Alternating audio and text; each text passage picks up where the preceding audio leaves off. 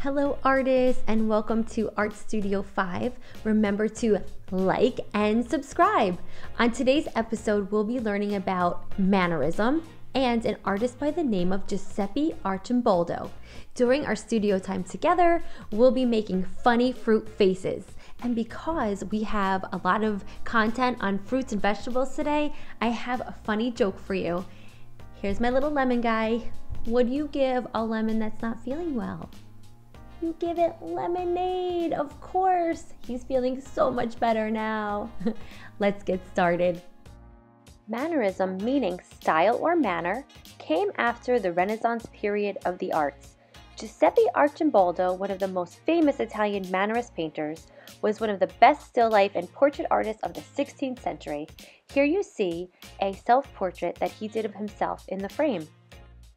Vastly different from the self-portrait that we just saw, Arcimboldo invented a new way of painting portraits using flowers, fruits, animals, books, and other everyday objects in a composition to resemble a human face.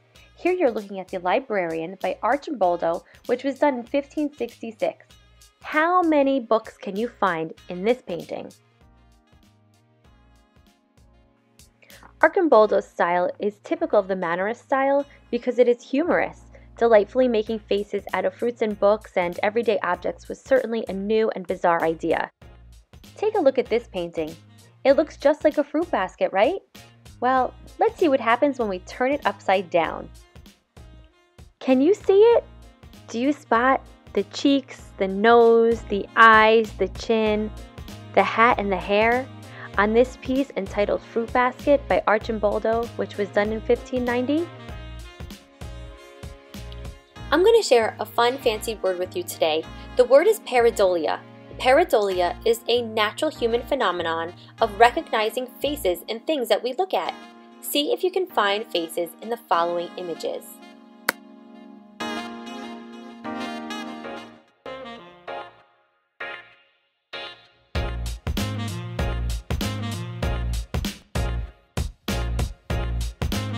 Are you ready to make an Arcimboldo fruit face?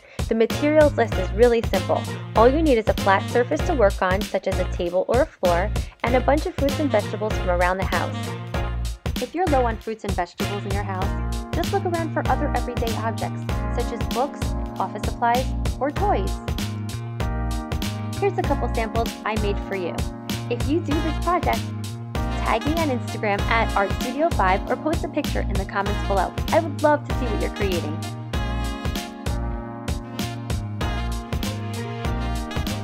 Thanks for stopping by today. Remember to like, subscribe, and share. Comment below as well.